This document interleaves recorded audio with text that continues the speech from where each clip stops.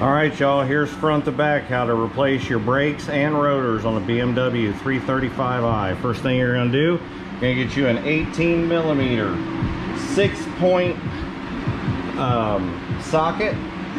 And then you're gonna get you a three, three eighths or a half inch style. It's not a ratchet, it's just a regular, shoot, just a regular pry bar type thing. So, first thing we do is we loosen up the lug nuts. And then once you loosen them up, you get them all out of there. All right, we've got our lug nuts off there and then we just pull the wheel right off of there, right? You set that to your side, set that to the side of you. Now, what I'm gonna do, just so I feel safe, I'm gonna take my jack stand, put it right up under here. Okay. So what we're gonna do, is we're gonna hit it right here. See this, this bar right here? Put it right up underneath of that bar, right? So that right there is gonna make sure that if this jack fails on you, you ain't gonna worry about it, right? So, there we go. We're gonna put that there. So, first of all, what we're gonna do, we're gonna pop this off of there. Real easy. Real easy. Pop that off there. This is what you do. You put your screwdriver right there, and it goes flying. Very easy to get this off.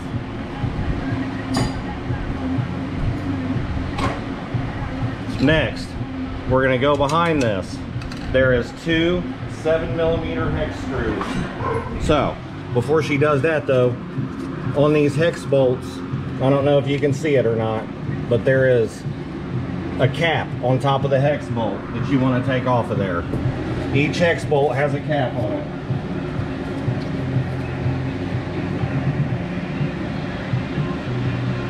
I know you can't see it, it's so dark.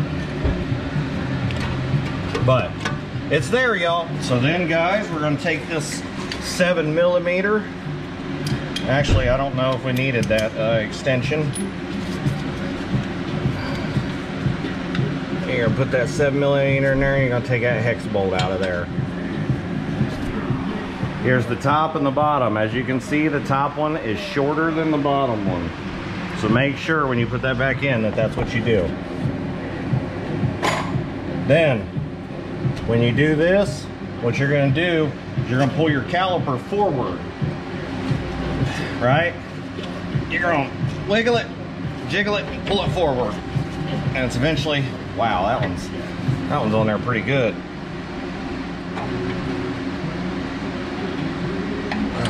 Take my screwdriver and I'm putting it right in between this brace here and the caliper to give me a little bit of help because this thing was super tight.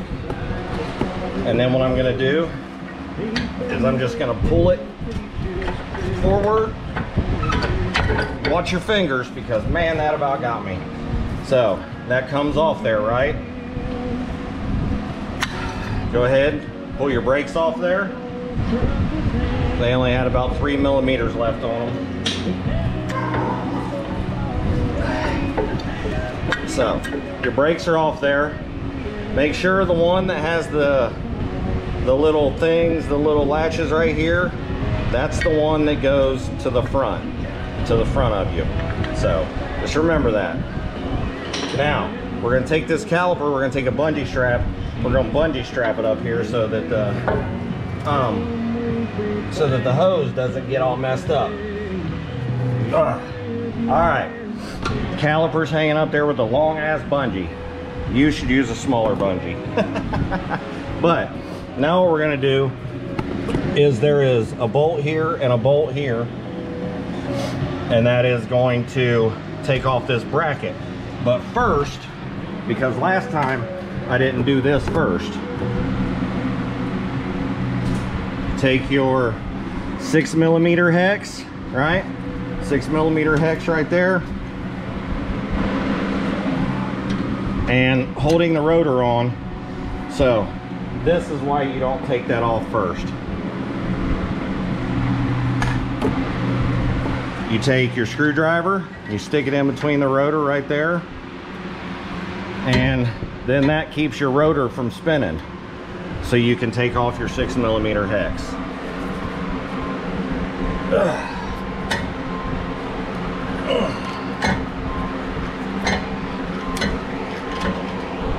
Sucker was in there. Wow. And here is that little pin, uh, rotor pin.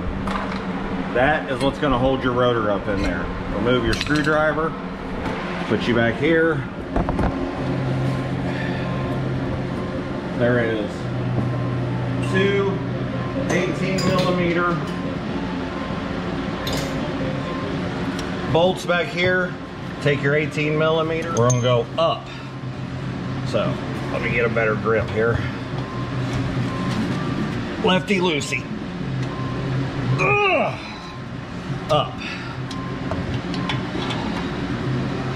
All right, got that one loose. Got that one loose.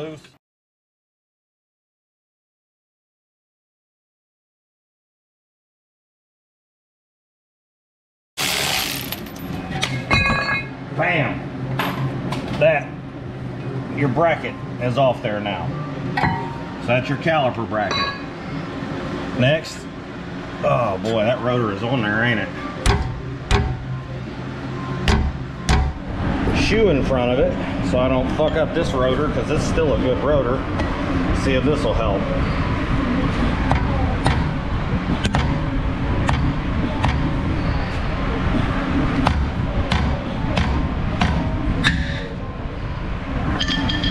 We go. One good smack to the actual outside here is what did it.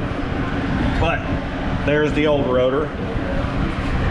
Set that to the side. Let's get the new one.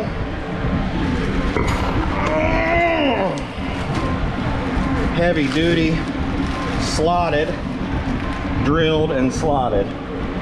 Heavy duty. This is Hawk Racing is what this is. Hawk Racing uh, altogether the brakes and the rotors was uh, 800 and like 850 I think. So pretty good price. Um, you know a little bit of money but guess what? The way I drive this is what I need. I don't drive under 100 miles an hour anywhere I go. Now what you see me doing right here is putting the lug nut back on the rotor so it will hold the rotor tight up against the hub so I can get that rotor pin in there a whole lot easier.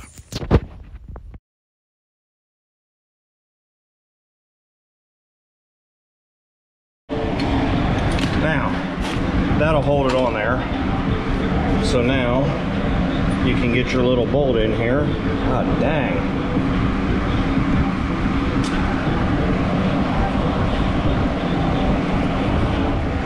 All right, so that is in there. Little six millimeter hex bolt is in there. All right. Next thing we gotta do is put the uh, caliper brackets back on. Caliper bracket right here.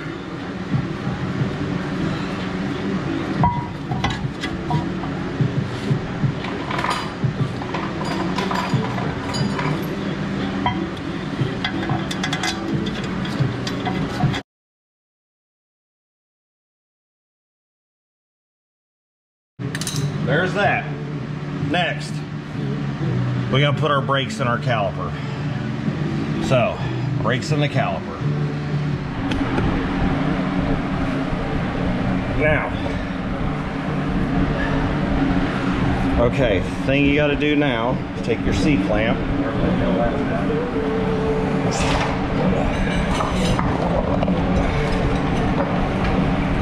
Get you a C-clamp take one of your old brakes. All right, so this here, we take one of the old brakes, we set it back down in there. We take the C-clamp, We open it up until we can fit it on there.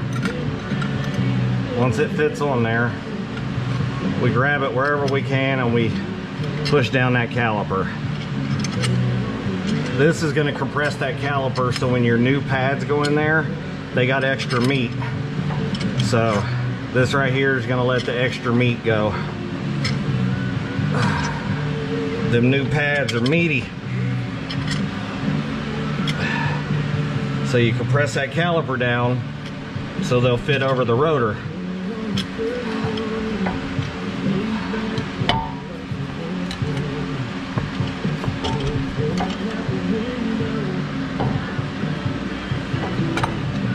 All right. That's compressed. And then let's put them new brakes in here. All right. All right, that goes there. This one goes here. And you can tell because this one fits down in this caliper real nice. The other one does not.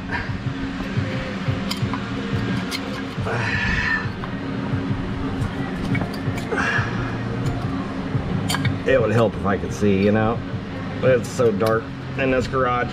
I need better light. That fits down in there real nice. All right. Right? Everything good? Yeah, we're all fit in there. Good. Right here, you're gonna put some of the brake uh, goo.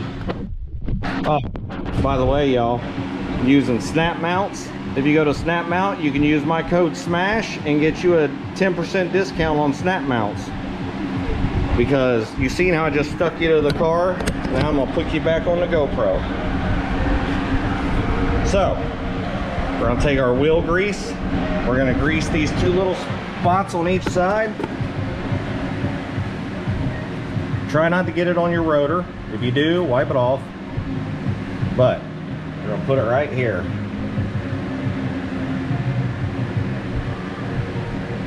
This is non this is a non-seize stuff. It'll help them slide better and not seize up on you.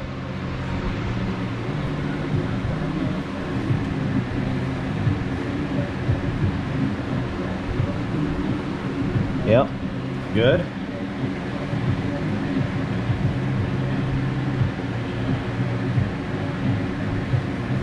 Anti-seize, that's what it's called. Anti-seize.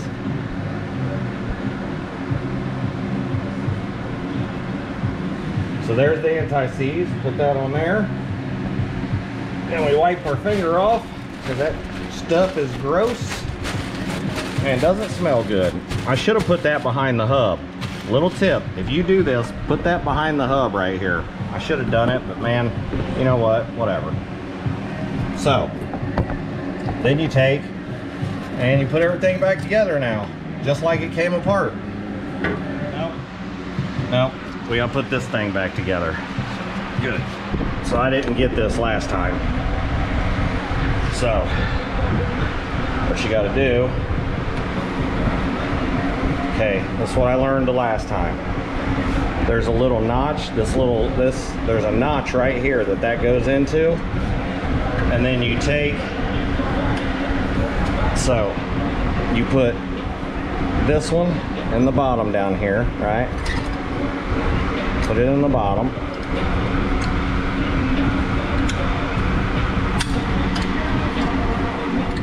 All right, I'm going to tell you exactly what I did. That thing has two metal pieces coming off of each side of it.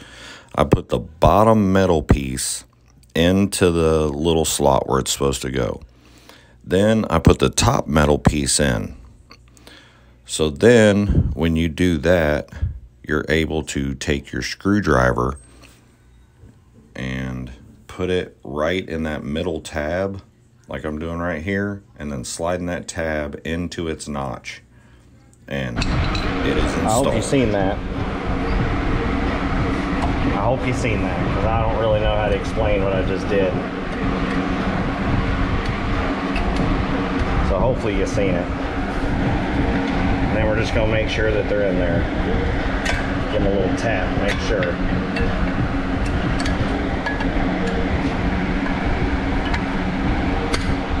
Yeah. There we go. Brakes are put back together. Now put your wheel on and let's go drive. All right, guys, in this next clip, I'm going to say wheel sensor about 20 times, but it is not a wheel sensor. It is a brake pad sensor. Please excuse my ignorance.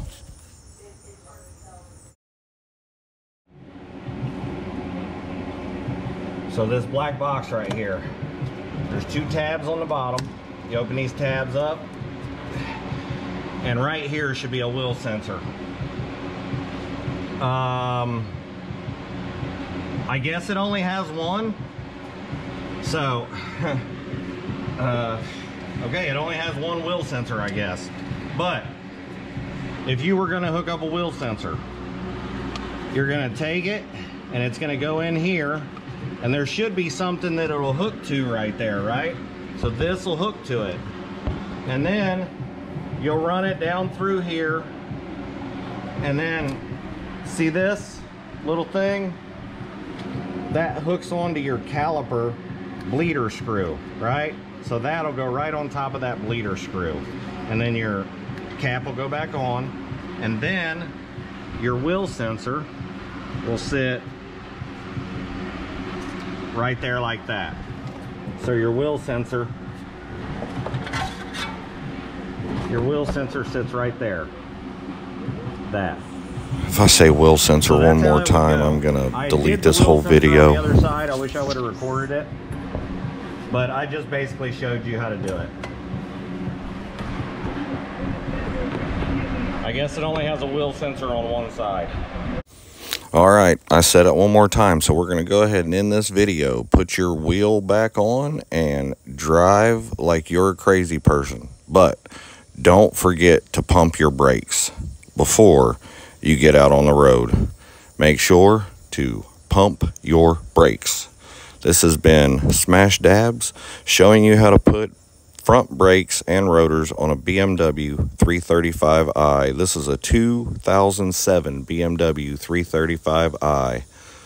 Thank you, and I hope you enjoyed my instructional video from an ignorant mechanic on how to change your BMW brakes if you are broke and don't know how and can't pay somebody to do it.